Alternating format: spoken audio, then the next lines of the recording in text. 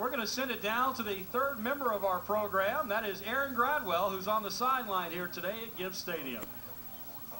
Thanks, guys. Down here with the BI-LO recruiting stage, here's Keenan Allen, who's playing for North Carolina today. Keenan, you have already committed to Alabama. What were some factors that, that led into your decision?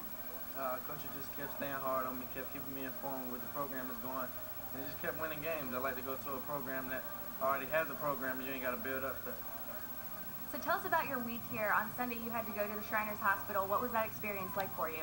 Uh, it was very cool. Uh, got to see some of the kids that ain't got the ability that we have, and we just come out here and play for them. Has that changed how you're going into playing today and how emotion has played a factor in how well you're going to do today? Well, yeah, it took. It's more like we playing for them instead of coming out here and doing our own thing, celebrating and stuff. Here now, and thank you so much. Good luck today. Back to you guys.